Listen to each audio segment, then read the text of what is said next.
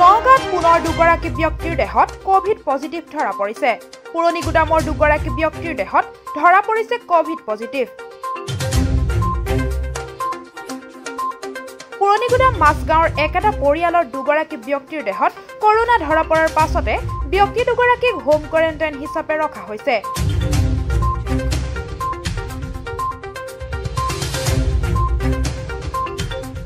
আনহাতে নগাঁৱত বিগত এক সপ্তাহত কৰোণা পজিটিভৰ সংখ্যা ছাব্বিছ জন।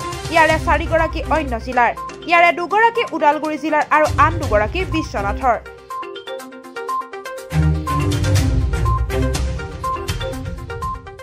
হয় আজি দুজন টেষ্ট কৰিবলৈ আহিছিলে ইয়াতে। হয়। ক'ভিড আমি এণ্টিজেন টেষ্ট কৰিছিলোঁ। হয়। ক'ভিড পজিটিভ হৈছে। হয় ক'ৰ আছিলে? আহ, পুৰণিগুদা মাজগাঁও। মাজগাঁও। কি কিমান বয়সৰ? এজন ছিক্সটি থ্ৰী।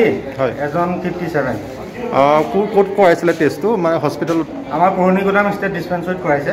হয়। ক'ৰবালৈ গৈছিলে নেকি মানুহকেইজন? নাই ক'তো যোৱা নাই ঘৰতে থকা মানুহ। নাই ন? এজনৰতো নাই ট্ৰেভেল হিষ্ট্ৰী নাই। এজনৰতো চিমটমছ একো নাই। এজনৰ আছে চৰ্দি কাহ। তেনেকুৱা হৈ আছিলে।